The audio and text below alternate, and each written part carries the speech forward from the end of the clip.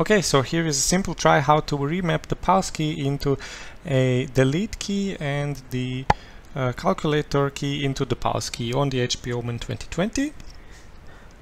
So what's necessary to do is from the video description, copy the contents into a text file and save it something.reg.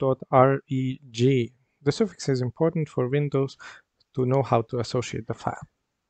Once the file is created, uh, run it and click both checkboxes OK. And once this is done, you will have to restart your machine. And after restart, the pause key should work in Windows as a delete key. Um, the only thing that doesn't work is press and hold functionality because of the special way that the pause key works. For example, here, if I write some text and I press, press, press, delete, it works, press and hold doesn't work. Usually what I do is I select the whole thing that I need to delete and press once. So for me, this functionality is not a deal breaker.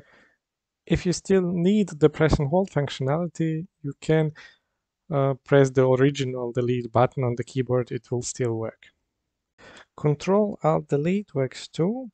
I'm not a big user of the pause key and um, I've just tested it here very roughly in a process pinging Google and I can see if I press it the process of pinging is paused. If I press enter the process of pinging gets continued. So for my usage this works. There are some other options like SharpKeys or AutoHotkey I didn't want to use this because I didn't want to install some third-party software on my machine.